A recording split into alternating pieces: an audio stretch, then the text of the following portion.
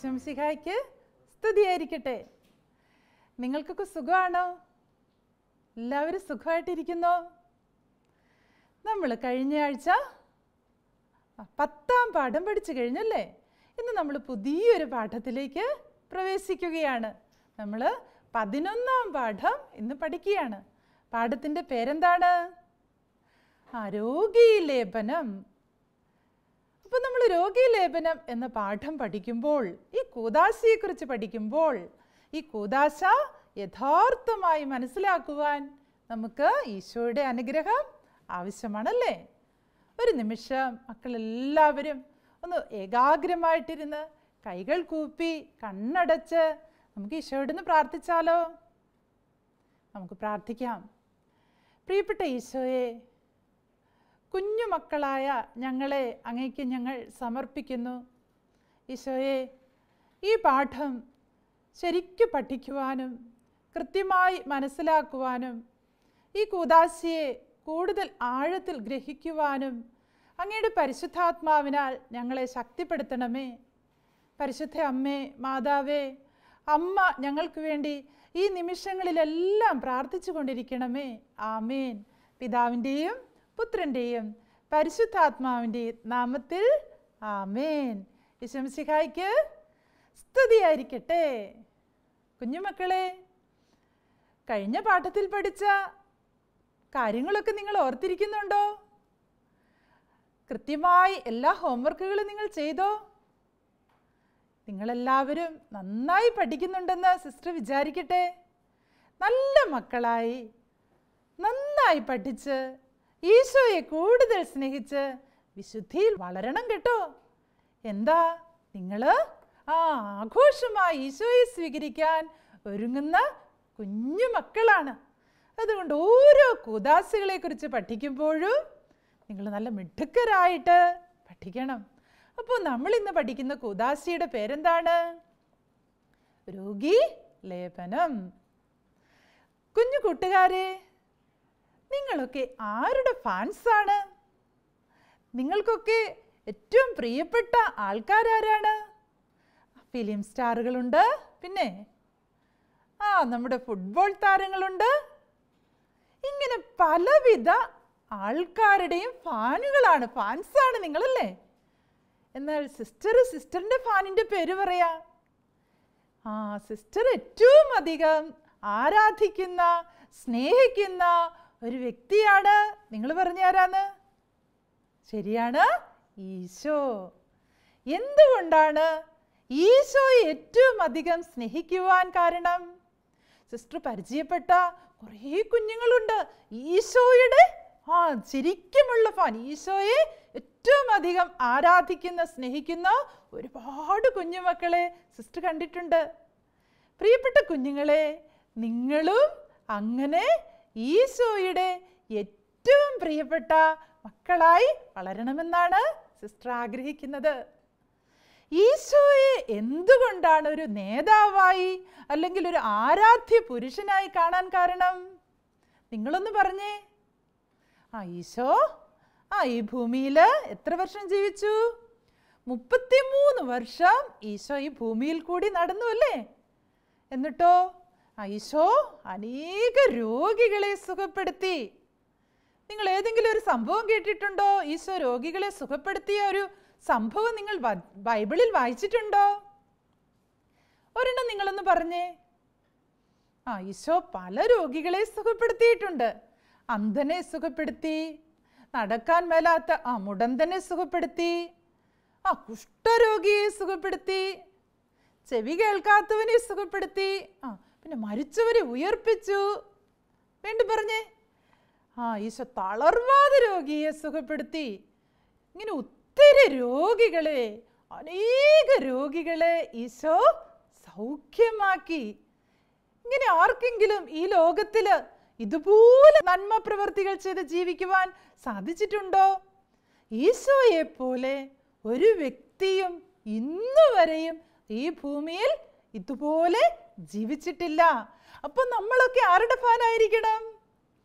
ആ ഈശോയുടെ ഫാനായിരിക്കണം നമ്മളൊക്കെ. പ്രിയപ്പെട്ട കുഞ്ഞുങ്ങളെ നമ്മൾ ഇന്ന് ഈശോ ഒരു രോഗിയെ സുഖപ്പെടുത്തിയ ഒരു സംഭവം നമുക്ക് കേൾക്കാം. ഈശോ കഫർനാം എന്നൊരു സ്ഥലത്ത് ഒരു വീട്ടിലായിരിക്കുകയായിരുന്നു. എവിടെയാണ്? കഫർനാമിൽ. അവിടെ ഈശോ ആ ഒരു വീട്ടിലായിരുന്നു. ഈശോ ആ വചനം ദൈവരാജ്യത്തെക്കുറിച്ച് സുവിശേഷം അറിയിക്കുകയാണ്. അവിടെ ചുറ്റുമിരുന്ന ആൾക്കാരോട് ദൈവരാജ്യത്തെക്കുറിച്ച് സ്വർഗരാജ്യത്തെക്കുറിച്ച് ദൈവപിതാവിനെക്കുറിച്ചൊക്കെ പഠിപ്പിക്കുകയാണ്. ആ സമയത്ത് ഒരുപാട് ആളുകൾ ഈശോയുടെ ചുറ്റും തിങ്ങിക്കൂടി. ആർക്കും ഇനിയും കടന്നു വരാത്ത പോലെ ആയിരക്കണക്കിന് ആൾക്കാർ ഈശോയുടെ ചുറ്റും ഒരുമിച്ച് കൂടി. അപ്പോഴാണ് വലിയൊരു ശബ്ദം കേൾക്കുന്നത്. നോക്കുമ്പോഴതാ ആ ഈ ഓട് ഈശോ ഇരുന്ന വീടിന്റെ മേൽക്കൂര പൊളിച്ചു മാറ്റുന്ന ശബ്ദം. എല്ലാവരും മുകളിലേക്ക് നോക്കി. എന്താണ് ആ ശബ്ദം? ആ കുറച്ചു പേര് ഒരു തളർവാദ രോഗിയെ ആ കിടക്കയോടെ ആ ഈ വീടിന്റെ മേൽക്കൂരയിൽ കയറ്റി ആ മേൽക്കൂര പൊളിച്ച് ഓടിളക്കി മാറ്റി ആ ഈ രോഗിയെ ഈശോയുടെ മുമ്പിലേക്ക് ഇങ്ങനെ ഇറക്കുകയാണ്. കുഞ്ഞുമക്കളെ നമുക്കിതൊരു വീഡിയോയിൽ കണ്ടാലോ? നിങ്ങളിത് ശ്രദ്ധിച്ച് കാണണം കേട്ടോ.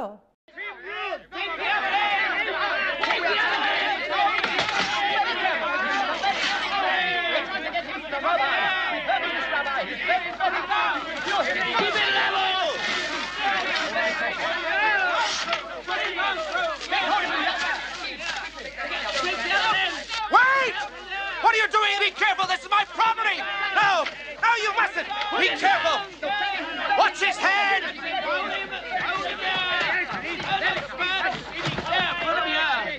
Help me. I've been this way for 20 years. It is the curse of God. Punishment for my sins and for my parents' sins.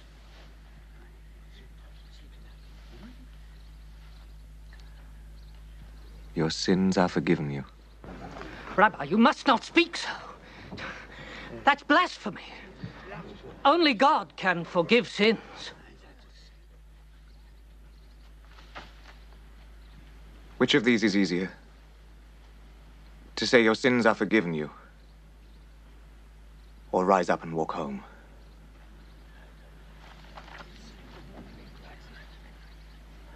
The Son of Man has the power to forgive sins.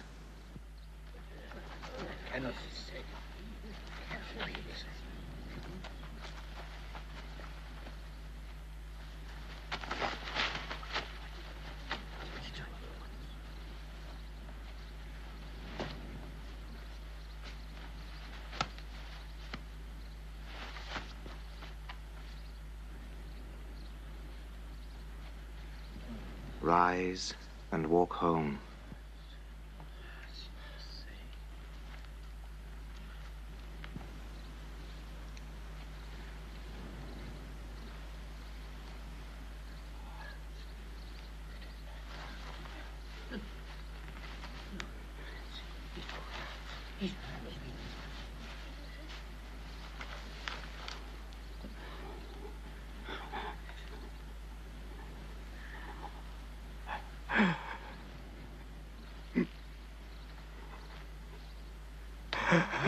ます。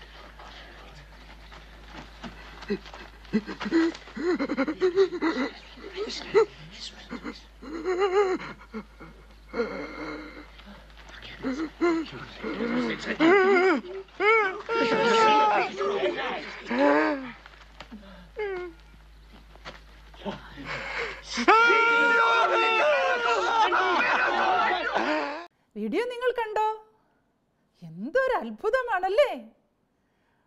ഈശോയുടെ മുൻപിലിറക്കിയ ആ രോഗി ആ രോഗിക്ക് നടക്കാമായിരുന്നോ?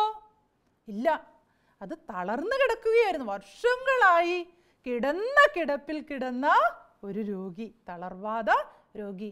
ഈശോ എന്ത് ചെയ്തു? ഈശോ ആദ്യമേ ആ രോഗിയോട് പറയുന്നത് എന്താണ്?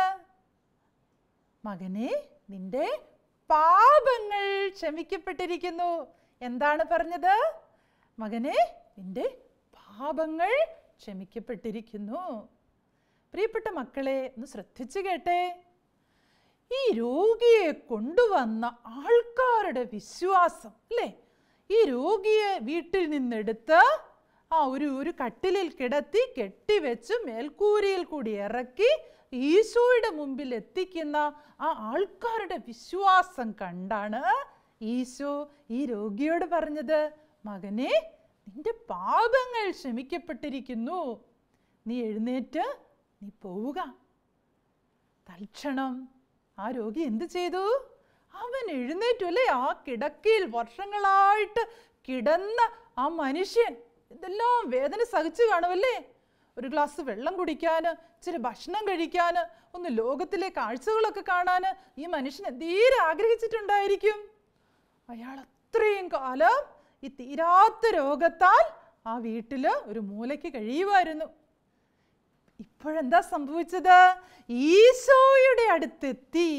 ഈശോ അദ്ദേഹത്തിന്റെ മേൽ കരുണയോടെ പറഞ്ഞു മകനെ നിന്റെ പാപങ്ങളെല്ലാം ക്ഷമിക്കപ്പെട്ടിരിക്കുന്നു. നീ എഴുന്നേറ്റ് പൊയ്ക്കൊള്ളുക. തൽക്ഷണം അയാൾ സുഖം പ്രാപിച്ചു. അയാൾ എഴുന്നേറ്റ് നടന്നു. നിങ്ങളിത് കണ്ടു അല്ലേ? പ്രിയപ്പെട്ട കുഞ്ഞുങ്ങളെ ഈശോ ഇപ്രകാരം തന്റെ അടുത്ത് വന്ന എല്ലാ രോഗികളെയും ഈശോ സുഖപ്പെടുത്തി. ഇനി നിങ്ങൾ പറഞ്ഞേ നിങ്ങൾ ബൈബിളിൽ വായിച്ചിട്ടുള്ള ഒരു സംഭവം എന്ന് പറഞ്ഞേ. ആ ഈശോ അന്തന് കാഴ്ച കൊടുത്തു. ഒന്ന് ഓർത്തു നോക്കി കണ്ണു കാണാതെ തപ്പിത്തടയുന്ന ഒരു മനുഷ്യൻ. ആ മനുഷ്യൻ ഈശോയെ കണ്ട് വിളിച്ചു പറയുക ഈശോയെ ദാവീദിന്റെ പുത്ര എന്നിൽ കനിയണമേ. ഈശോയാണ് ആ വഴിക്ക് പോകുന്നതെന്ന് കേട്ടപ്പോൾ ഈ അന്ധയാചകൻ വിളിച്ചു പറഞ്ഞു ഈശോ അയാളെ കേൾക്കാതെ പോയോ? ഇല്ല ഈശോ അയാൾക്ക് കാഴ്ച കൊടുത്തു. വീണ്ടും ആ നടക്കാൻ മേലാതെ കിടന്നിരുന്ന മനുഷ്യൻ ബെത്സൈദ കുളക്കരയിലെ കാര്യം നിങ്ങൾ കേട്ടിട്ടുണ്ടോ? മുപ്പത്തെട്ട് വർഷമായി ആ കുളക്കരയിൽ കിടന്നിരുന്ന ഒരു രോഗി. എത്ര വർഷമാ? മുപ്പത്തെട്ട് വർഷം. ഈശോയെക്കാളും പ്രായമുള്ള ഒരു മനുഷ്യൻ ഈശോയെ ഈശോയെക്കാളും വർഷം അയാൾ ആ കുളക്കരയിൽ കിടക്കുമായിരുന്നു അയാളെ ആര് സുഖപ്പെടുത്തി? ഈശോ സുഖപ്പെടുത്തി. ഇങ്ങനെ ഈശോയുടെ അടുക്കൽ വരുന്നവരെ എല്ലാം ആരാണെന്ന് നോക്കാതെ അയാൾ പാപിയാണോ പുണ്യവാനാണോ സമ്പന്നനാണോ ദരിദ്രനാണോ എന്നൊന്നും നോക്കാതെ ഈശോ സുഖപ്പെടുത്തി. കുഞ്ഞുമക്കളെ ഈ സൗഖ്യത്തിന്റെ അനുഭവം ഈ ശക്തി ഈ കഴിവ് ഈ കൃപ ഈശോ തന്റെ ശിഷ്യന്മാർക്കും കൊടുത്തു. ഈശോ തന്റെ ശിഷ്യന്മാരോട് പറയുകയാണ് അവരെ വിളിച്ചിട്ട് പറയുകയാണ്. ഈശോ പറയുകയാണ് മക്കളെ അല്ലെങ്കിൽ ശിഷ്യഗണങ്ങളെ നിങ്ങൾ ആ രോഗികളെ സുഖപ്പെടുത്തുവിൻ. സ്വർഗരാജ്യത്തെക്കുറിച്ച് നിങ്ങൾ പ്രസംഗിക്കുവിൻ. ഇങ്ങനെയുള്ള ശക്തി തന്റെ ശിഷ്യന്മാർക്കും ഈശോ പകർന്നു കൊടുക്കുകയാണ്. മത്തായിയുടെ സുവിശേഷം വിശുദ്ധ മത്തായിയുടെ സുവിശേഷം പത്താം അധ്യായത്തിൽ ഒന്നു മുതലുള്ള വാക്യത്തിൽ പറയുന്നുണ്ട് അവൻ തന്റെ പന്ത്രണ്ട് ശിഷ്യന്മാരെയും വിളിച്ച് എല്ലാവരെയും വിളിച്ചിട്ട് പറയുകയാണ് അശുദ്ധാത്മാക്കളെ ബഹിഷ്കരിക്കാൻ എല്ലാ രോഗങ്ങളും വ്യാധികളും സുഖപ്പെടുത്തുവാൻ ഞാൻ നിങ്ങൾക്ക് അധികാരം തരുന്നു. ഈശോ ചെയ്ത അതേ പ്രവൃത്തികൾ ചെയ്യുവാൻ ഈശോ ആർക്ക് ശക്തി കൊടുത്തു? ശിഷ്യഗണങ്ങൾക്ക് അപ്പസ്തോലന്മാർക്ക് ശക്തി കൊടുത്തു. കുഞ്ഞുമക്കളെ വീണ്ടും നമ്മൾ മർക്കോസിന്റെ സുവിശേഷ ആറാധ്യായത്തിലേക്ക് കടന്നു ചെന്നാൽ ഈശോ തന്റെ എഴുപത്തിരണ്ട് ശിഷ്യന്മാരെ വിളിച്ചു കൂട്ടി അവരെ രണ്ട് പേരായിട്ട് അയക്കുകയാണ്. ഈ രണ്ട് പേരായിട്ട് അയച്ചു. നിങ്ങൾ ആ ഈ നാടിന്റെ നാനാഭാഗത്തേക്കും ചെല്ല്. എന്നിട്ടോ? അനുദപിക്കണമെന്ന് പ്രസംഗിക്ക്. പിശാചുക്കളെ പുറത്താക്ക്. രോഗികളെ നിങ്ങൾ തൈലം പൂശി സുഖപ്പെടുത്ത്. ഇങ്ങനെയുള്ള അധികാരം കൊടുത്ത് ഈശോ ഈ ശിഷ്യഗണങ്ങളെ കൂടെ ചേർന്ന ആ എഴുപത്തിരണ്ട് ശിഷ്യഗണങ്ങളെ പറഞ്ഞയക്കുകയാണ്. അപ്പോഴൊന്ന് ഓർത്തു നോക്കിയേ ഈശോയിൽ നിന്ന് ഈ അധികാരം ശിഷ്യന്മാർക്ക് അപ്പസ്തോലന്മാർക്ക് ലഭിച്ചു. എന്തധികാരമാണ്? ആ ഈ രോഗികളെ സുഖമാക്കാനുള്ള അധികാരം ഈശോവർക്ക് നൽകി. കുഞ്ഞുമക്കളെ വീണ്ടും നമ്മൾ ഈ അധികാരം അതിന്റെ തുടർച്ചയായിട്ട് കൈമാറ്റം ചെയ്യപ്പെടുന്നതായി നമ്മൾ വിശുദ്ധ യാക്കോബ് സ്ലിഹയുടെ ലേഖനത്തിൽ നമ്മൾ കാണുന്നുണ്ട്.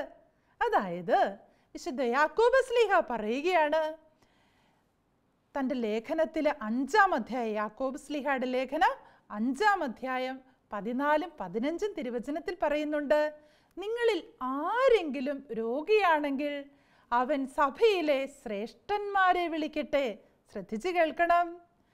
അവർ കർത്താവിന്റെ നാമത്തിൽ അവനെ തൈലാഭിഷേകം ചെയ്ത് അവന് വേണ്ടി പ്രാർത്ഥിക്കട്ടെ. വിശ്വാസത്തോടു കൂടിയുള്ള പ്രാർത്ഥന രോഗിയെ സുഖപ്പെടുത്തും.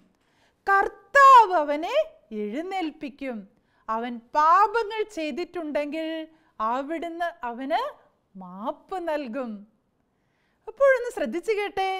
വിശുദ്ധ യാക്കോബ് സ്ലീഹ ഈശോയുടെ ശിഷ്യരിൽ ഒരാളായ യാക്കോബ് സ്ലീഹ വീണ്ടും നമ്മളോടായിട്ട് പറയുകയാണ് കർത്താവ് ഇങ്ങനെ ഒരു അധികാരം തന്നിട്ടുണ്ട്. അതുകൊണ്ട് എന്ത് ചെയ്യണം? നിങ്ങളുടെ കൂട്ടത്തിൽ ആരെങ്കിലും രോഗികളായിട്ടുണ്ടെങ്കിൽ അവരെങ്ങോട്ട് ചെല്ലണം? സഭയിലെ ശ്രേഷ്ഠന്മാരെ അവർ വിളിക്കട്ടെ. ഈശോ അധികാരം ഭരമേൽപ്പിച്ചവരെ വിളിക്കട്ടെ. അവരെന്ത് ചെയ്യണം? അവർ കർത്താവിന്റെ നാമത്തിൽ ആരുടെ നാമത്തിലാണ് രോഗശാന്തി ലഭിക്കുന്നത്? കർത്താവിന്റെ നാമത്തിൽ ആ അവർ തൈലാഭിഷേകം ചെയ്ത് ആ രോഗിക്ക് വേണ്ടി പ്രാർത്ഥിക്കട്ടെ. വീണ്ടും അടുത്ത സെന്റൻസ് വളരെ ശ്രദ്ധിച്ച് കേൾക്കണം. മക്കളെ വിശ്വാസത്തോടു കൂടിയുള്ള പ്രാർത്ഥന രോഗിയെ സുഖപ്പെടുത്തും. ആരാണ് അവനെ എഴുന്നേൽപ്പിക്കുന്നത്? കർത്താവ് അവനെ എഴുന്നേൽപ്പിക്കും. അവൻ പാപങ്ങൾ ചെയ്തിട്ടുണ്ടെങ്കിൽ അവൻ അവിടുന്ന് മാപ്പ് നൽകും. ഒന്ന് ഓർത്തു നോക്കിക്കേ. ഈശോ ചെയ്ത അതേ അത്ഭുതം ഈശോ ചെയ്ത അതേ അടയാളങ്ങൾ ഈശോ ചെയ്ത രോഗശാന്തി വരം അത് ഈശോ നമുക്കും പകർന്ന് തന്നിട്ടുണ്ട്. അപ്പസ്തോലന്മാരിലൂടെ കൈമാറ്റം ചെയ്യപ്പെട്ട ഈ അധികാരം ഇന്ന് രോഗി ലേപനം എന്ന കുദാസിയിലൂടെ വൈദികർ പുരോഹിതർ നമുക്കും പകർന്ന് തരുന്നു. പ്രിയപ്പെട്ട കുഞ്ഞുങ്ങളെ എന്തൊരു സന്തോഷകരമായ അനുഭവമാണല്ലേ? നമ്മൾ രോഗം വന്നാൽ ആദ്യം ചെയ്യേണ്ടത് എന്താണ് നമ്മൾ പ്രാർത്ഥിക്കണം. കുഞ്ഞുങ്ങളെ ഈശോ ഒരു കുഷ്ഠരോഗിയെ സുഖപ്പെടുത്തിയ ഒരു ചെറിയ വീഡിയോ നിങ്ങളൊന്ന് കണ്ടേ. നിങ്ങളുടെ മനസ്സിലേക്ക് ഈ വീഡിയോ കാണുമ്പോൾ ഓർക്കണം കർത്താവ് അല്ല നമ്മുടെ ഈശോ. എത്ര ശക്തിയോടെയാണ് എത്ര സ്നേഹത്തോടെയാണ് നമ്മളെയൊക്കെ സുഖപ്പെടുത്തുന്നത്. അതുകൊണ്ട് ഒത്തിരി സ്നേഹത്തോടെ കുഞ്ഞുമക്കൾ ഈ കുഷ്ഠരോഗിയെ എല്ലാവരും വെറുത്തിരുന്ന ഈ കുഷ്ഠരോഗിയെ ഈശോ സുഖപ്പെടുത്തുന്ന ഈ സംഭവം നിങ്ങളൊന്ന് ശ്രദ്ധിച്ച് കണ്ടേ Not to spoil this beautiful day or anything, huh? Come on.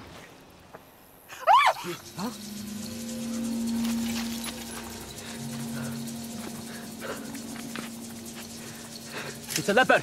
Stay back. Cover your mouth. Don't breathe his air. Don't come any closer. It's okay, John. It's okay. Rabbi, Rabbi, Rabbi, you cannot. His disease. You.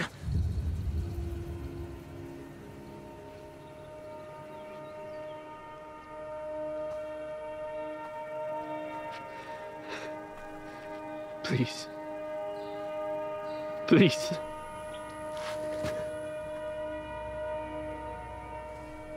Please don't turn away from me. I won't. Lord, if you are willing, you can make me clean. Only if you want to, I submit to you. My sister, she was a servant at the wedding. She told me what you can do. I know you can heal me if you are willing.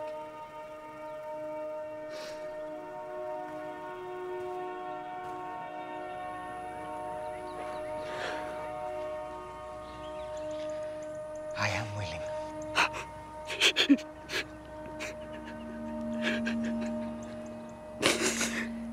Be cleansed.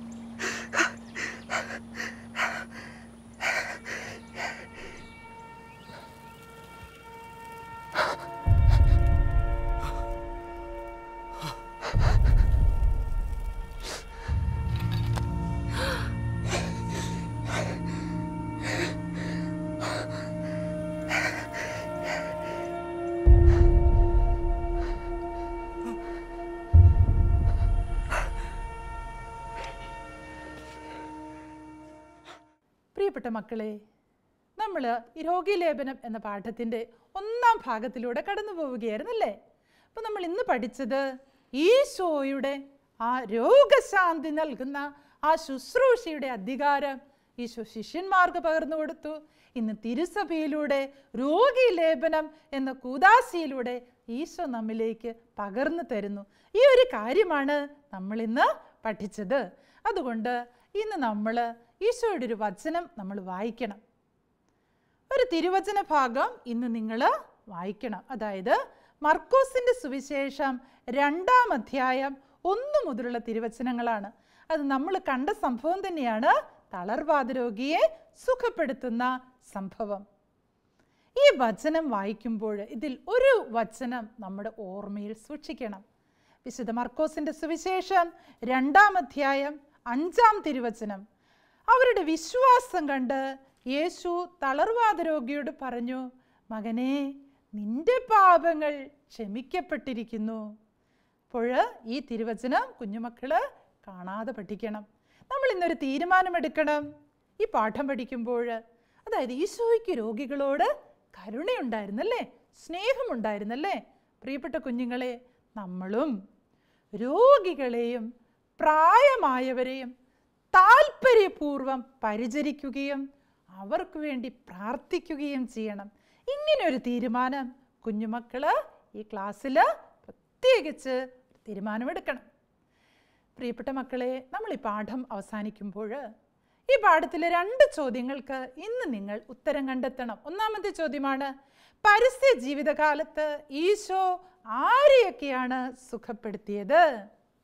രണ്ടാമത്തെ ചോദ്യം രോഗി ലേപനം എന്ന കൂതാശിയെക്കുറിച്ച് വിശുദ്ധ യാക്കോബ് സ്ലീഹ നൽകുന്ന പ്രബോധനം എന്ത്? ഈ രണ്ട് കാര്യങ്ങളും നമ്മൾ പഠിച്ചു. അപ്പം മക്കൾ എന്ത് ചെയ്യണം? രോഗി ലേപനം എന്ന കൂതാശ.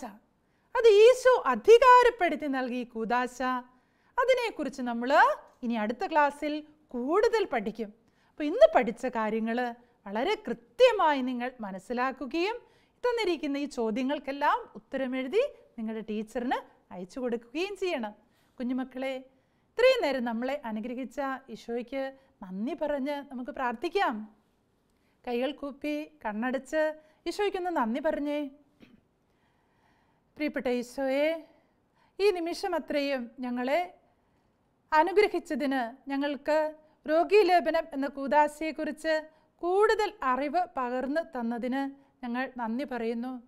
പ്രിയപ്പെട്ട ഈശോയെ ഞങ്ങളുടെ വീട്ടിലുള്ള ഞങ്ങളുടെ പ്രായമായ അപ്പച്ചനെയും അമ്മച്ചിയും കൂടുതൽ സ്നേഹിക്കുവാനും അവരെ താല്പര്യപൂർവം ശുശ്രൂഷിക്കുവാനും ഞങ്ങളെ നീ തന്നെ അനുഗ്രഹിക്കണമേ. അമ്മേ മാതാവേ ഞങ്ങൾക്ക് വേണ്ടി പ്രാർത്ഥിച്ചു കൊണ്ടിരുന്ന അമ്മയ്ക്ക് ഞങ്ങൾ നന്ദി പറയുന്നു. ഈശോയുടെ ഏറ്റവും പ്രിയപ്പെട്ട മക്കളായി ഞങ്ങൾ ഓരോരുത്തരും വളർന്നു വരട്ടെ. പിതാവിന്റെയും പുത്രന്റെയും പരിശുദ്ധാത്മാവിന്റെയും നാമത്തിൽ ആമേൻ. വിശ്വംസിഹായിക്ക് സ്തുതിയായിരിക്കട്ടെ. കൈകൾ